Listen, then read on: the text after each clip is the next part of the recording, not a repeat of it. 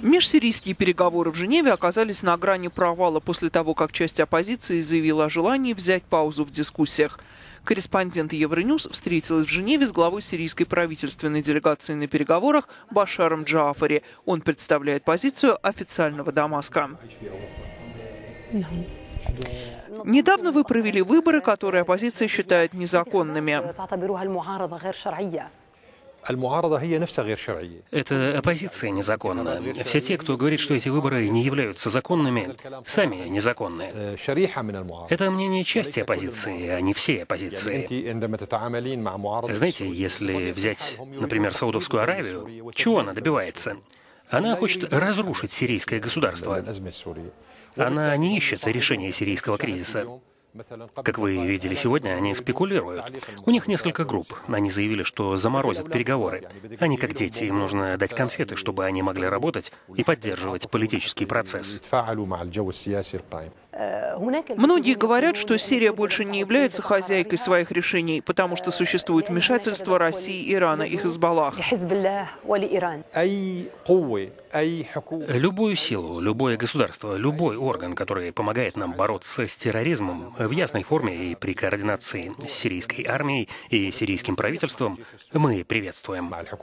Будь это российские союзники Хизбаллах или иранцы. Они ведут борьбу с терроризмом на территории Сирии с согласия сирийского правительства и по просьбе сирийского правительства. Какова роль Европы в разрешении сирийского кризиса? Сегодня есть новое явление под названием европейский терроризм. Раньше они утверждали, что был арабский и исламский терроризм, а сегодня мы являемся жертвами европейского терроризма, исходящего из Брюсселя, Парижа, Лондона, из Испании, Германии, Италии. То есть вы считаете, что Европа поддерживает терроризм? Конечно, европейские правительства способствовали проникновению этих террористов в Сирию и Ирак. Вы же не поверите, что террорист, который отправляется из Парижа, Лондона, Брюсселя, Бостона или из Австралии и прибывает в Сирию без визы, без паспорта, через десятки государств и через турецко-сирийскую или иорданско-сирийскую границы, остается незамеченным для спецслужб. Есть государства, которые вы обвиняете в терроризме?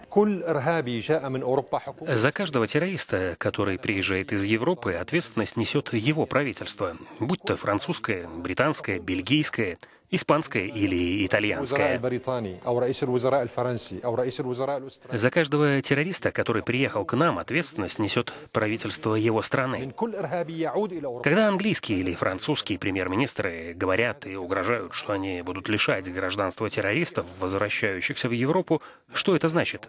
Что эти правительства подталкивают террористов к тому, чтобы остаться в Сирии и не возвращаться в Европу. Если бы эти государства действительно хотели остановить террористов, которые бьют по Сирии и Ираку, то они бы не позволили им покидать свою территорию. Израиль провел беспрецедентное заседание на голландских высотах. Почему, по-вашему, они сделали это сейчас?